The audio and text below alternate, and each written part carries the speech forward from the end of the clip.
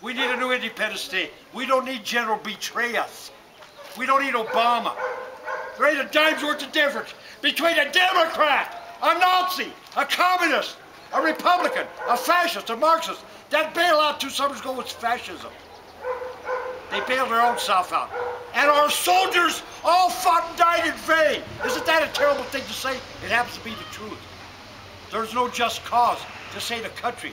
It's an offshore bankrupt corporation. Wise up, sheeple. Wise up now.